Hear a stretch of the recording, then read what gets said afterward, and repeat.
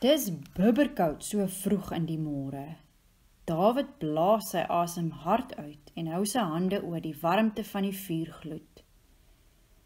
Nullis het hom 'n paar ekstra handskoene geleen. Hy wat David is, besit nie eers so iets nie. Met sy knieë styf teen mekaar gedruk, vryf hy die bietjie warmte van sy handpalms aan sy wange af. Dis rustig om hom. Die gloed van die vlamme speel 'n kleure spel teen die vragmotors. Wanneer die groot brullende vragmotor so stil staan, lyk dit asof ook hulle, soos die bestuurders, slaap. Voetstappe klink agter hom in die gruis op. Dis Nellis. Hy kyk goedkeurend na hom. Jy moet jou slaaptyd benut, Sena. Dit gaan nog 'n lang dag wees hierdie. Dis oukei. Okay. David kyk na die vuur. Nellis voel nie vir hom na sy pa nie. Eerder na 'n vriend, amper soos Fred. Dit ruk sy gedagtes huis toe. Fred, Ansie, sy ma en ouma Cornie. Hulle voel soos bekendes uit 'n verre verlede. Ek weet, ek dink ek weet darm nou waar Yugi is. Op die Hawksbergpad moet ons op die uitkyk wees vir 'n vrugtestalletjie en 'n skerp draai na links. Ons sal 'n vurk in die pad sien en dan is ons daar. Hy bly stil en kyk na Dawid. Hoe gaan dit met jou ma? Sy stem is sagter. Goed. David waag dit steeds nie om op te kyk nie. Ek dink sy mis pa soms. Ja. Nelle skug 'n paar maal. Sak langs David op die slaapsak neer en skuif skuif eers rond voordat hy sy sit kry. Net sy sy het my nooit gedag vir vir 'n egskeiding jy weet. David knik woordeloos. Was daar nooit in al die jare ander mans in haar lewe nie? Ek is julle kind. Hoe sal sy sulke goed met my bespreek? Uit die hoek van sy oog merk hy hoe sy pa oor sy gesig vee, soos 'n moe ou man. Sy het 'n baie goeie vriend vir wie sy soms raad vra as sy nie meer weet nie. Sê Dawid toe die stilte tussen hulle lank rek. Dit verbaas hom dat dit vir hom so maklik is om met sy pa te praat.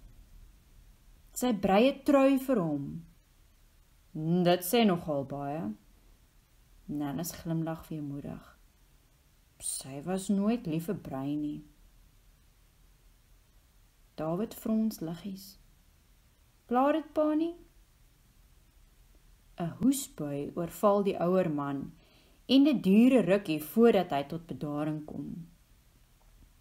Selfs dan antwoord hy nie dadelik nie. Dawid luister na die geknetter van die vuur en die stemme van die werkers wat 'n end weg besig is om die vrag af te laai. Ek wil net hê dat sy gelukkig moet wees. Hy vryf met sy hande teen mekaar. Vee dan oor sy mondhoeke. Natuurlik pla dit my, magtig. Nou, hoekom het pa nooit teruggekom nie? Ek kon nie. Ek kon nie nie. Dis al. David voel sy binnegoed so snare styf span. Hoekom hou ouma Connie van pa, nie van pa nie? Hoekom het sy na pa geskiet? Dit lyk asof Nelle slaap. Hy sit met sy oë toe en nie eers die trek van 'n spiertjie verraai dat hy David gehoor het nie. Pa, Sy oë gaan moeg oop. Het jou ma nooit met jou daaroor gepraat nie? Nee, ek het haar nooit gevra nie. Doen dit dan. Wanneer jy weer tuis is, vra haar daarna. Hou pa van ouma Cornie. Hy weet self nie hoekom hy dit vra nie. Nellis glimlag flou. Ja, op 'n manier hou ek nogal van haar sy's 'n goeie ouma. David snork deur sy neus. Ansie dink ook so. Wat is dit? Dit sê julle almal so verblind. Ansie, nou wie is sy? Fred se dogter. Fred is ma se vriend.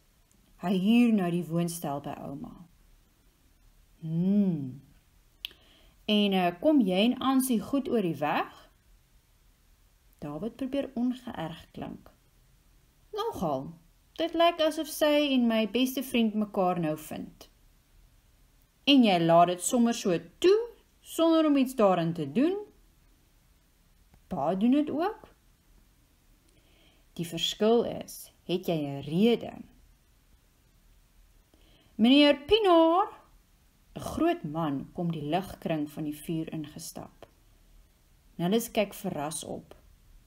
Is julle al klaar? Hy kom moeisaam orent. Ek kom nou weer, David. Ons moet maar maar gou weer moontlik aanstryk. David bly alleen agter en staar na die vuur. Hy voel jammer om so gou weer te vertrek. Hy luister na die geroep van 'n krieke en verder en dink daaraan dat dit nag selfs anders ruik as die dag. Wat sou die rede daarvoor wees dat sy ouers nie weer voorsoen kon raak nie, wonder hy. Kan dit wees dat ouma Cornie nie regtig iets te doen gehad het met sy pa se wegganery nie? Hy wens hy kon na sy ouma kyk deur Ansie se oë.